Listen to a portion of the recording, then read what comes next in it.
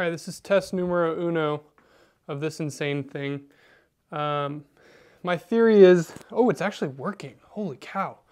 Um, this should make a consistent pattern, like two things moving, but they're consistent in different directions. I don't know what I'm talking about whatsoever, but my theory is that this will actually make a really unique looking pattern.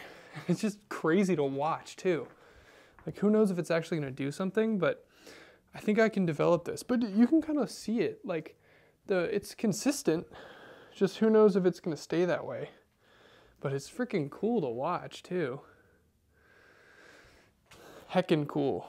Apologies for the people keeping it G rated. I don't know if this will actually do something. Like I said, super fun though. This is the first ever test. I did not do a dry run, nothing. And it's